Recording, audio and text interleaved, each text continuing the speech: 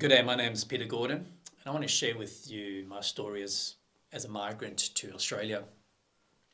We uh, been living, we were living, used to live in South Africa, South African citizens, and um, when my kids were young, we made the decision that as a family we wanted to start a new adventure. We'd been to holiday in Australia. My sister lived in Australia, and Australia was a, a, a natural. We liked the country; it was a natural natural option for us. Applied for a job. Everything went really smoothly, and within three or four months, we were um, in Australia.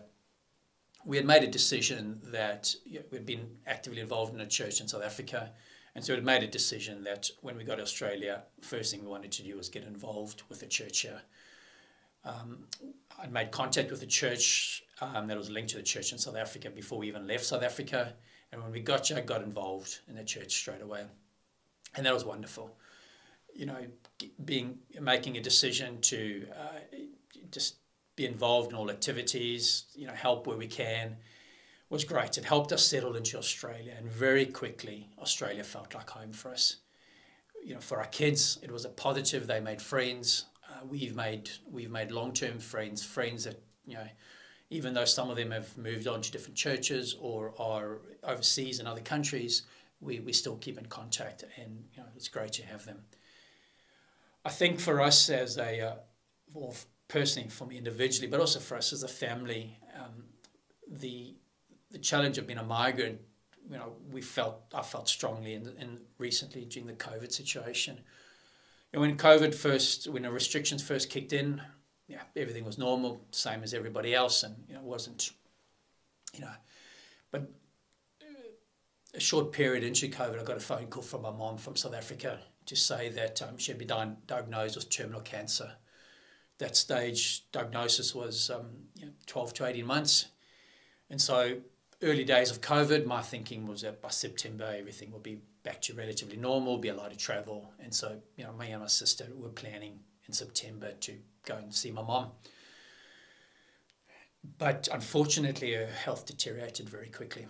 Um, and very soon afterwards got diagnosed with brain cancer and went from being you know, strong uh, to you know, being bedridden, you know, not being able to get around, and, and very quickly hardly been able to communicate. Most of the time, being um, been you know not you know being asleep, uh, and um, and when she was awake, being in pain, and it was hard to communicate with my mom, hearing her um, crying in pain, hearing her uh, you know moaning, and and feeling so uncomfortable, and being you know being stuck in, in Australia.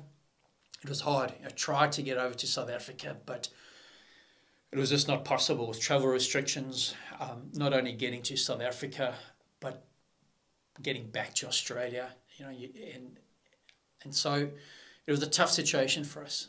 Um, and but one of the strengths for us in that situation was knowing that even though we were alone from a family perspective or from an external family perspective, knowing that we had church family around us unfortunately, we had made a probably a poor decision or a wrong decision um, when we first joined Berwick Church of Christ and you know, had excuses of busyness, didn't get involved in a life group. But fortunately, um, just before COVID started, is that we got involved in a life group. And just the support of the life group, the, encouragement, the, um, the prayers, the friendship, uh, you know, the messages, the phone calls uh, from Life Group and, and Greater Church, and, and friends, you know, Christian friends from outside of the church was wonderful. There were times, especially in this last lockdown, when, you know, you hear your mom crying and, and you can't do anything about it. It was really hard. Um, but knowing that I wasn't alone was, was wonderful. And I just want to say thanks. You know, thanks to the church thanks to the life group, I don't think the life group realized what encouragement they were. The WhatsApp group, seeing their messages, seeing their communication, even though sometimes it wasn't even connected to me, just seeing them communicated made me feel like I wasn't alone. And so, and, and helped me stay connected with God. You know, He's the King of Kings, the Lord of Lords, the creator of everything. And, and it was great, you know, to have their support. So, my encouragement to migrants is make that decision to be involved, make that decision to be involved in the church, make that decision to be involved in a life group. Yeah, it, it's it's a blessing, and it's a decision that you will not regret. So I want to thank you for uh, hearing my story. Happy to discuss, or if you have any questions at any time when we're allowed to connect up again and see each other face to face, or um, but thanks, all the best, and uh, God bless. Bye.